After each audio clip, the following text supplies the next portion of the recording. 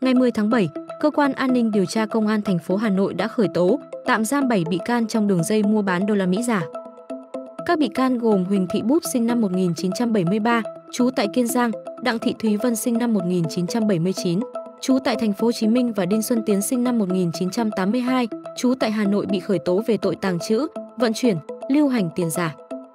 Các bị can Nguyễn Tiến Quân sinh năm 1979, trú tại Hà Nội, Trần Đăng Quang sinh năm 1985, trú tại Thừa Thiên Huế bị khởi tố về tội tàng trữ, vận chuyển tiền giả. Hai bị can Nguyễn Văn Hùng sinh năm 1968, trú tại thành phố Đà Nẵng, Đàm Mai Tất Đạt sinh năm 1991, trú tại tỉnh Bạc Liêu bị khởi tố về tội tàng trữ tiền giả.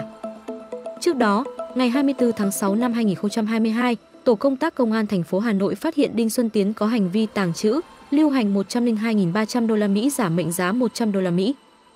Làm việc với cơ quan chức năng, Tiến khai nhận số đô la Mỹ giả trên được mua của một người tên Vân ở thành phố Hồ Chí Minh với mục đích bán lại để hưởng lợi. Mở rộng điều tra, cơ quan chức năng bắt giữ Đặng Thị Thúy Vân và các bị can trên, thu giữ nhiều loại tiền ngoại tệ giả như đô la Mỹ, đô la Singapore, tiền Turkmenistan với tổng giá trị quy đổi hơn 13 tỷ đồng.